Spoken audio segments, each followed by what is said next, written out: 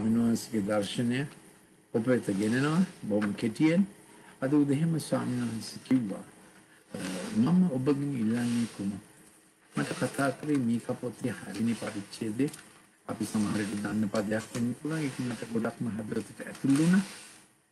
මේක හයි හයවෙනි පරිච්ඡේදයේ උන්වහන්සේ අහනවා හයවෙනි පදේ මම ස්වාමීන් වහන්සේ ඉදිරියට කුණ රැගෙන ඇවිත් උසස්සු දෙයන් වහන්සේට බඳින්නේ. මොකද්ද මම ගේන්නේ? ස්වාමීන් වහන්සේට මොනවද මම ගේන්නේ? මම දවන පූජා අවුරුද්ද වයස් ඉල්වස්සන් දහස් ගණන් බැටළුවන් මොනවද ගේන්නේ? තෙල් ගංගාව? මේ මටද ස්වාමීන් වහන්සේ ප්‍රසන්න මන්නේ. මට දැනන ස්වාමීන් වහන්සේ මගෙන් ඉල්ලන්නේ අධ්‍යාත්මීය සත්‍ය සාවේසා දැන ගැනීම. ඉතින් දහස් ගණන් බැටළුවන් දස දහස් ගණන් තෙල් ගංගා නෙමෙයි. මගේ වරද නිසා මාගේ කුළුඳලා නෙමෙයි පූජා නෙමෙයි. එම්බා මිනිස්ය යහපත මොකද කියා උන්වහන්සේ නුඹට පෙන්වා තිබේ. ධර්මිෂ්ඨකම කිරීම කරුණාට ප්‍රේම වීම නුඹේ දෙවන් වහන්සේ වෙත යටහත් ලෙස හැසිරීම මිස ස්වාමින් වහන්සේ නුඹෙන් ඉල්ලන්නේ වෙන කුමක්ද? අපි එතකොට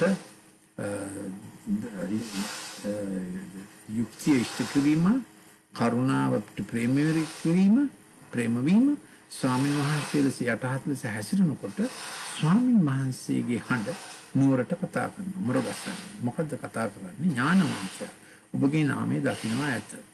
දණ්ඩටත් ඒක නියම කළ තනන් වහන්සේටත් යටත් වෙන්න. ස්වාමින් වහන්සේට හඬ අසන්න කියලා නගරයට ඇහෙනවා. දේව දරුවා අර ධර්මස්කම් විත්‍ය කරලා කරුණාට ප්‍රේම කරලා ස්වාමීන් වහන්සේ ඉදිරියේ යටහත් හැසිරෙනකොට ඒක දැන් මේ නගරයට ඒක දැනෙන්න පටන් ගන්නවා. ඒ වගේම මම දැක්කා ආබ්‍රහම් පුංචි අයිසක් එක්ක කුඩාරමක් හදනවා.